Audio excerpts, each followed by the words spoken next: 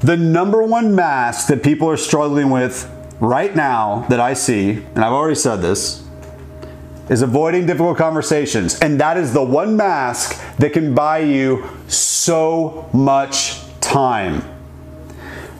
When you say yes to something that you could say no to, like a meeting, a 30 minute meeting, when you say no to it, you get 30 minutes back.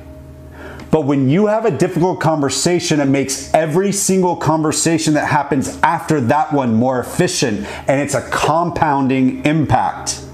I've shared about how I was able to have the difficult conversations with my team about how COVID is impacting us and how it might impact them. And because we had that one difficult conversation, we're able to have all these other conversations where we're not dancing around the topic and we're actually to get into the meat of solving for the problems that are ahead of us. We've had like 10 different conversations that we couldn't have had if I hadn't had that one. So when you think about having the difficult conversation, don't just think about, oh, it's good for me, it's good for them, it's good for impact, it's good for performance. Fuck it, man, it saves you time.